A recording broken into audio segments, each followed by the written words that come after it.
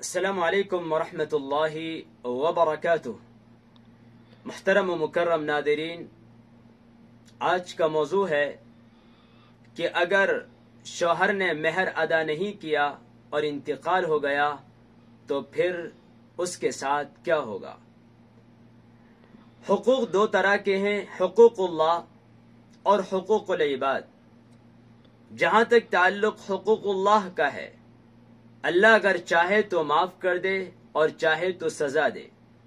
लेकिन जहाँ तक ताल्लुक हुकूकुल इबाद का है तो यकीनन जब तक कि बंदा माफ़ नहीं करेगा, वो माफ़ नहीं होगा।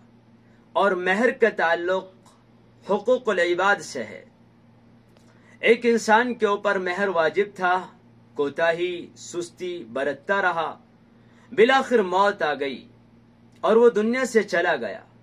उसने मेहर अदा नहीं किया। होने ये चाहिए था कि बाप जब चला गया तो उसकी औलाद मेहर अदा करे, ताकि बाप पर आजाम ना हो।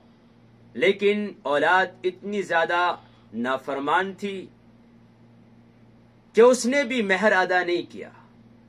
तो अब सवाल ये पैदा होता है, क्या वो मेहर अल्लाह उसको माफ़ कर सकता है?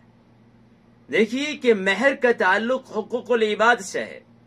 और हकूकुल इबाद का ताल्लुक बंदों से है। जब तक कि बंदे माफ़ नहीं करेंगे, वो अदा नहीं होगा।